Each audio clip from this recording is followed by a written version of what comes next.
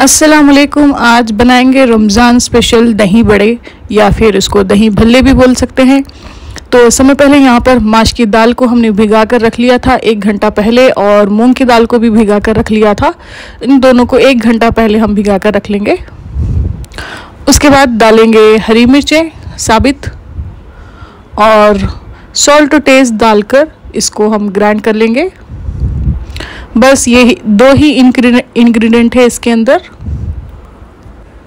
पानी इसमें बिल्कुल शामिल करना नहीं है ये पानी के बग़ैर ही इसको ग्राइंड करना है और ये हेल्दी तरीके से ये मूंग दाल और माश की दाल के दही भल्ले तैयार होंगे और इन दोनों को अच्छे से मिक्स कर लेंगे हम उसके बाद एक बॉल में पानी लेंगे और ये बैटर को उसमें डालकर हम देखेंगे उसका थिकनेस और इसका थिकनेस देख सकते हैं, बिल्कुल एग्जैक्ट है।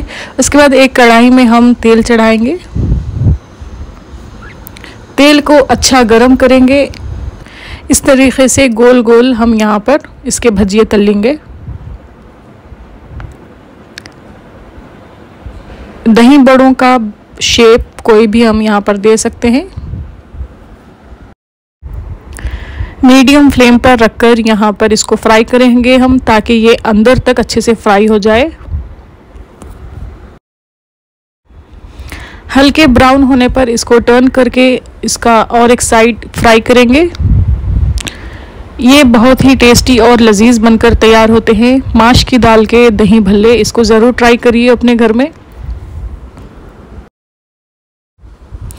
इसको ज़्यादा ब्राउन नहीं करेंगे।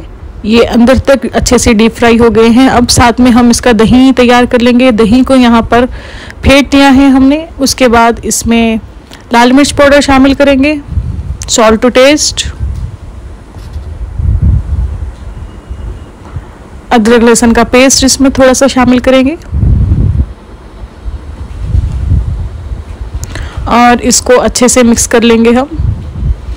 दही भल्लों को साथ फ्राई करने के साथ साथ ही यहाँ पर पानी में हमने डाल दिया था उसको ताकि ये स्पॉन्जी हो जाए।